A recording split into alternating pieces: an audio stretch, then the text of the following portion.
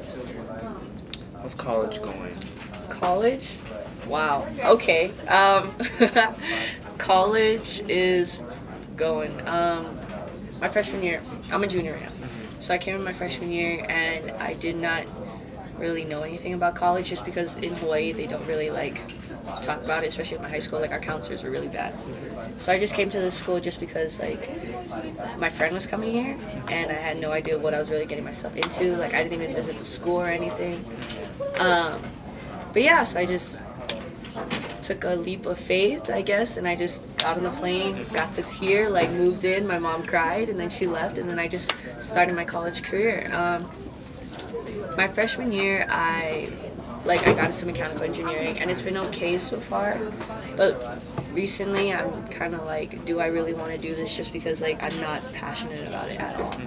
And I'm like a junior, like the end of my junior year already, and I'm like what have I been doing this long? Like trying to force myself to think that I really want to do this, but I actually really don't. So I'm like in that stage right now, trying to figure out what to do, and like I only have like my parents only have so much money. I can only take out so much financial aid, you know. So like that's where I'm at right now. But like over the course of time, like I learned so much about myself. Like um, I love being in my sorority. Like all these, I couldn't be more happier. Other than school sucks, but whatever.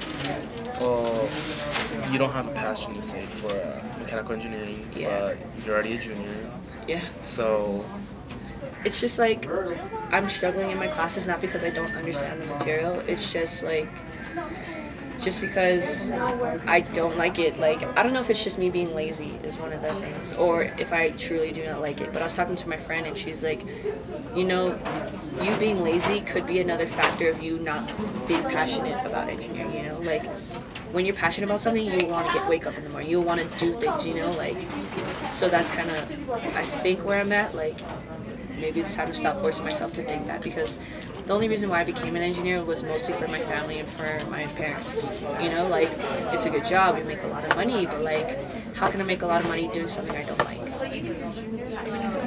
so would you ever change your major? I'm starting to think I will change my major very soon. I don't know what. Um, the thing I would change my major to quickest, which would be like all my other classes, would be um, construction management.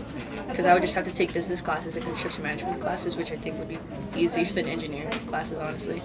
And, uh, but like, I don't know what I'm really into. I'm in, really into like a lot of things. Well, I hope you can figure it out. Yeah. If you need help, I'm always here.